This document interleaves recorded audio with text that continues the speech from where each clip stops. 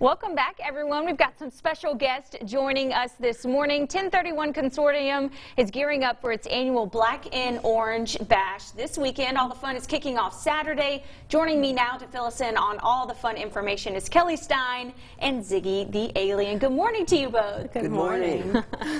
so tell us a little bit about this weekend. Uh, we're at the halfway point to Halloween, which is actually my favorite holiday. I can't wait for Halloween. Mm -hmm. What does 1031 Consortium do, Kelly? Um, with with this fundraiser? Okay, so 1031 Consortium is kind of like a Toys for Tots for Halloween. Mm -hmm. So we provide costumes uh, for kids in need, and then we also help neighborhoods have safe trick-or-treat practices for their kids.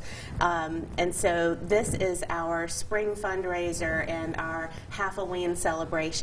And uh, so it's going to take place this Saturday, April 27th at uh, the Green Oaks Reception Center on Florida from 6 to 9, and you can find out more info at blackandorangebash.com on how to get tickets. And it's going to be a really, really fun event. Ziggy, what can people expect if they come out to this Black and Orange Bash this weekend? Oh, it's going to be a lot of fun. There's going to be uh, a special performance by the Beignets, a silent auction, appetizers, a cash bar. Uh, oh, don't forget to wear black and orange. But also, we're going to announce the parade theme this year, which I'm very, very excited about. And you're going to be making that big announcement, yes, isn't that right? I get to make the, excite the exciting announcement this year. Lots of fun, fun stuff coming up. Why is it important for people to come out and support this event? You mentioned it helps you guys continue your efforts with 1031 Consortium and providing a safe Halloween for everyone. Yes, you know, a lot of children are not able to trick or treat in their own neighborhoods, whether that's for traffic calming issues or poor lighting or crime. And so what 1031 does is we work with neighborhood associations to create safer environments for trick or treat.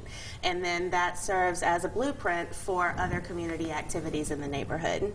And if people want to come, again, it's going to be this Saturday. Where can they get ticket information to be a part of this? Blackandorangebash.com. Awesome. And Ziggy, what's your favorite part about being a part of uh, 1031 Consortium? You're going to be there this weekend, right? Oh, Halloween is my favorite Earth holiday. I don't even have to dress up. It's just the one day of the year. Nobody looks at me funny. It's the best. You get to be yourself on Halloween. That's huh? right. awesome.